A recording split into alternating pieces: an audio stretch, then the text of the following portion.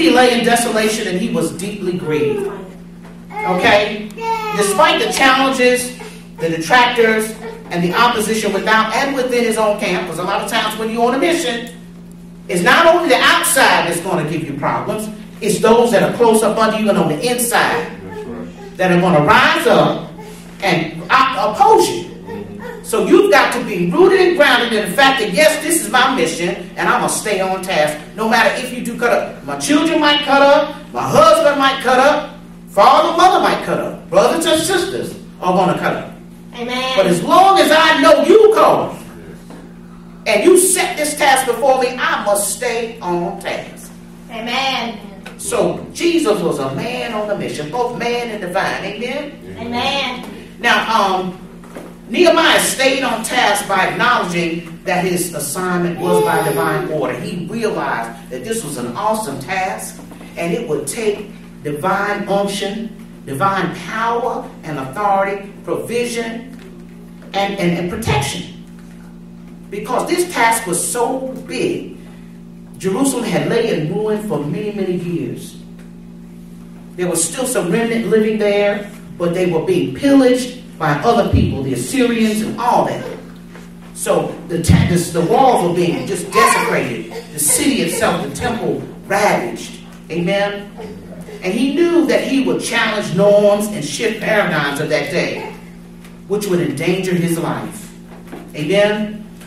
Yet he continued. He knew that by the enabling of God, the mission would be accomplished and the people of God would be restored revived, and reformed. So he continued. He realized, number one, that this mission was bigger than he was, okay? And number two, that his God was greater than the mission. That's Amen? right. And greater than the opposition. Hallelujah. Come on now. Amen. Come on, let's give God some praise on that. That's what we got to realize. If it's something that's challenging us, we got to understand that our God is bigger than any situation and any circumstance. That's right. That's right. And that way we operate by faith and we increase our faith. And this muscle of faith is exercised. And when you exercise the muscle, how many of you know it gets bigger? Yes. Amen? Amen. Opposition came from without and within, but Nehemiah was aware that this mission was not about him, that it was greater than him, and that it must be completed. And so he continued on. Despite the taunts of Sanballat, how many of you remember that it was Sanballat, Geshem, and Tobiah, and a few more oppositional people that taunted Ne- Nehemiah? They continually called him down from the wall and tried to distract him. They wanted to get him off his mission. His mission was to stay on the wall. And they wanted to call him down for a conference. They wanted to call him down and chat with him. They wanted to meet with him in, in the temple and all that. And, and, and, and, and, and behind his back, they planned to kill him. But God, in his infinite wisdom, stayed in Nehemiah's ear because Nehemiah did what? He fasted and prayed. And he also laid his enemies before the Father. Mm. Amen? That Amen. sounds a lot like Jesus, doesn't it? Now, listen, now, I'm not saying he's a forerunner of Jesus so much, but he's a model. Amen. Amen. Every time we see people that had a divine mission in the Old Testament, they were forerunners and models for Jesus Christ. Now, I might get kicked out from somewhere if I say that, but that's what I'm going to say. We can look to the men and women of God, their faith, that have them stay on task, and each task that they uh, uh, uh, achieved made way for the next step in history biblically, for the next event to happen. Rahab, when you look at Rahab, a whore and a harlot, yet she is an ancestor of Jesus Christ. That shows you God will use anybody He wants to.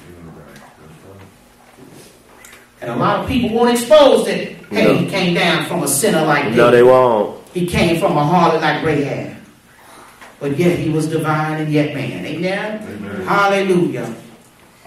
He stayed on the wall and worked steadfastly before his enemies. And a lot of times that's what we have to do. And that's what Jesus was doing. He stayed on task and he was steadfast despite the opposition of his enemies, the detractors, and even those that worked up close to him. You know the story of Judas. Judas walked with him every day, saw the miracles, saw those signs and wonders. But yet he betrayed him because he was the son of perdition and it was divinely ordered that he would be the betrayer. Just to give us an example of, hey, when people betray you, you keep on going. Come on You keep now. on going. Yes. Because sometimes opposition is allowed to, to just keep us skillfully moving forward. Amen? To keep us on task and to strengthen us. A lot of times we think when things happen to us that are hard and, and disappointing that we should be just give up.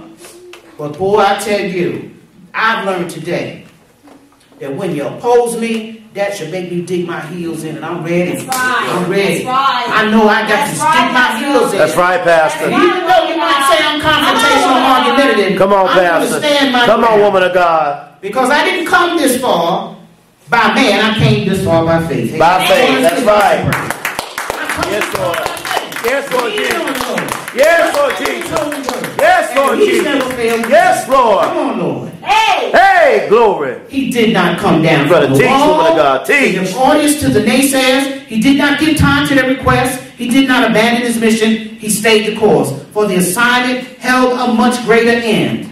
Yes, the is. restoration of God's people. Amen. Lord have mercy. Hallelujah. Hallelujah. In my previous 25 points on the book of Nehemiah, I neglected to move forward to the mission of Jesus Christ because it was such a yeah, such You a better lengthy work it.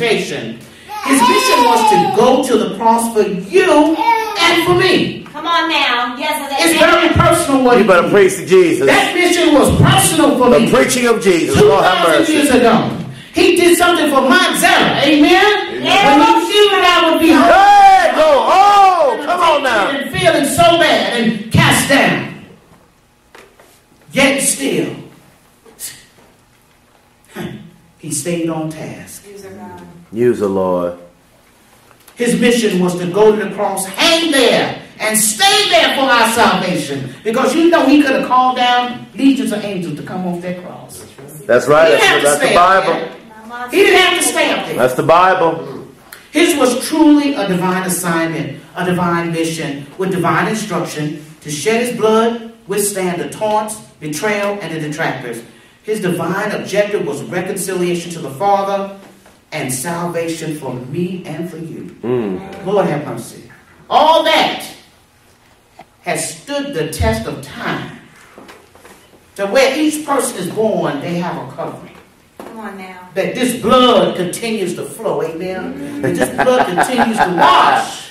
Oh, my He didn't just pour on that day and he died and was buried and was resurrected and went on. He left a fountain of blood that kept flowing, mm. amen? And each day I could wash myself under the blood. I can have my covering, amen? Mm. And I can feel myself rejuvenated when I feel cast down because of the blood. Go ahead. Blood, the blood, amen? Oh, glory, the blood, the Woo, that blood. bishop brought that blood out, amen? Amen. Can't nothing negative un- stand, stand and stand against the blood of Jesus.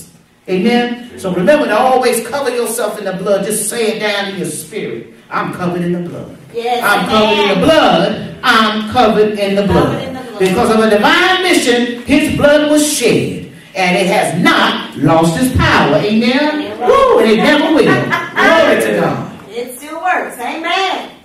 His was truly a divine assignment, a, a divine mission with divine instruction to shed his blood and withstand those taunts. And he did it. They said he didn't say anything. He stood before Pontius Pilate and they questioned him on something. He said, Oh, so you say it. That's all he said. Mm-hmm. So you say it. He didn't argue with him. He knew his mission was bigger than he was. And he Amen. knew a God that was bigger than the mission. Amen. Amen. Hallelujah. Amen.